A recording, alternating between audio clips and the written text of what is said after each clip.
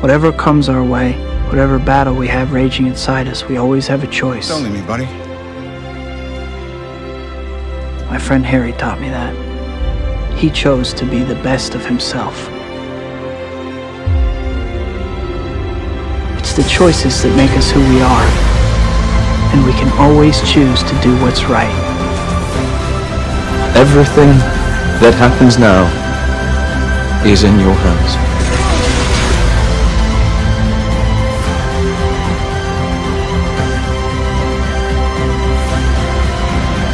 Because a hero isn't someone who lives above us, keeping us safe. A hero is not a god or an idea.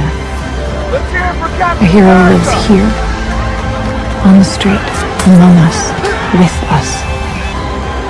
Together. Always here, but rarely recognized. Look in the mirror and see yourself for what you truly are.